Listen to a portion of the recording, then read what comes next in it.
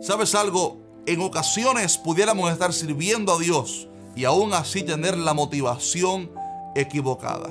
Pudiéramos estar sirviendo a Dios y aún así tener el corazón sirviéndole con el propósito o motivación erróneo. Este video es para ti. Mi nombre es José Rodríguez y esto es que dice la Biblia. Ya comenzamos.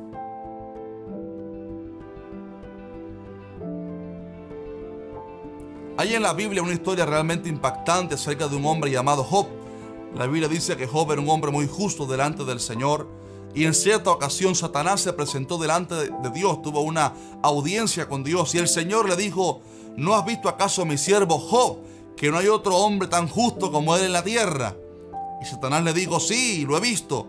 Pero sabes algo, él no te sirve de balde, o sea, Él no te está sirviendo de gratis, sino que Él te sirve porque tú lo has rodeado de bendiciones y le has dado tantas cosas y lo has, lo has protegido y le has dado muchas bendiciones económicas, por lo tanto Él te sirve por las bendiciones que tú le has dado.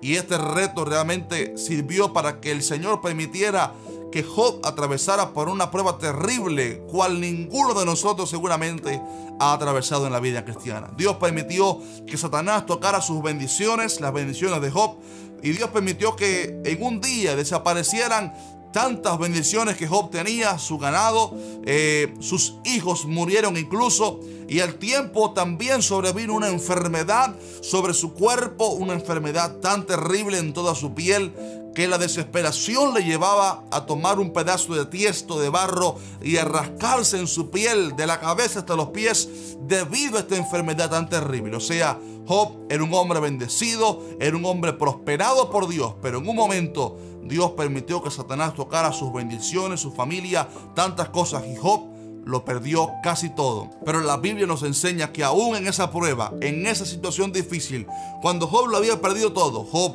no maldijo al Señor, ni le atribuyó despropósito alguno, sino que Job se postró en tierra, adoró al Señor y dijo, desnudo salí del vientre de mi madre y desnudo volveré. Jehová dio y Jehová también quitó, pero aún así, sea el nombre de Jehová bendito. Y la Biblia da testimonio de la integridad de Job aún en su prueba. La Biblia dio testimonio de la, integridad y la firmeza y la santidad y el amor a Dios de parte de Job aún en su momento de crisis peor.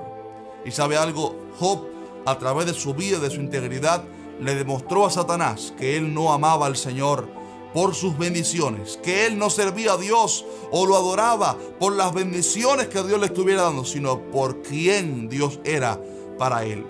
Hay en la Biblia un ejemplo triste de cuando las multitudes rodearon a, a Jesús y lo buscaron y por fin lo encontraron, pero Jesús, conociendo sus corazones, les digo, ustedes no me están buscando a mí por otra cosa que por la bendición que tuvieron ayer, la bendición de la multiplicación de los panes y los peces. La gente buscaron a Jesús por su bendición más allá que por sus palabras o por quién Jesús era. Muchas veces nosotros hemos sido puestos a prueba en esta área.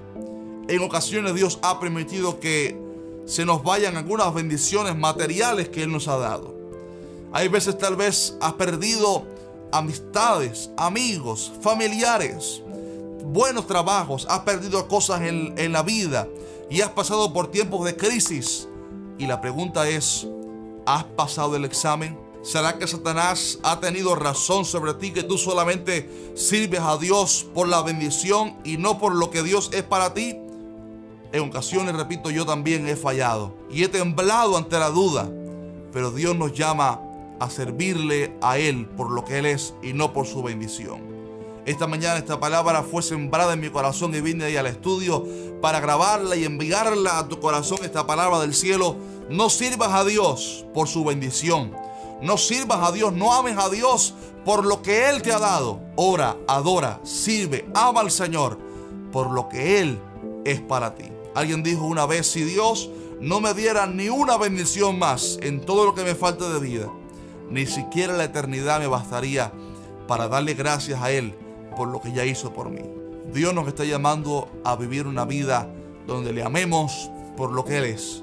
Y si mañana Dios permite que desaparezcan todas las bendiciones, si mañana Dios permite que el sol no salga, que la luna no salga, que no haya bendiciones, que venga crisis un tiempo de prueba y un tiempo de persecución y un tiempo terrible en tu vida o en mi vida. ¿Será que vamos a seguir amando a Dios? ¿Será que vamos a seguir obedeciéndole? ¿Será que vamos a sucumbir ante la tentación? ¿O será que vamos a serle fieles e íntegros como Job, aún en el tiempo de la prueba? Este fue un mensaje de que dice la Biblia. Por favor, dime qué piensas al respecto. Estoy seguro que tienes mucho para aportar a este video y me encantaría oír tu comentario, ver tu comentario, ver tus palabras. Así que abajo en el video, por favor, déjanos tu mensaje. Envíale este video a alguien, dale un fuerte like, no lo olvides. Y si no te has suscrito a nuestro canal, ¿qué estás esperando? Suscríbete y activa la campana de notificaciones para que no te pierdas ninguno de estos videos que lanzamos semanalmente. El Señor te siga bendiciendo y que vivas una vida amando y sirviendo a Dios por quien Él es. Como dice la canción, por quién eres tú, te doy la gloria. Dios te bendiga.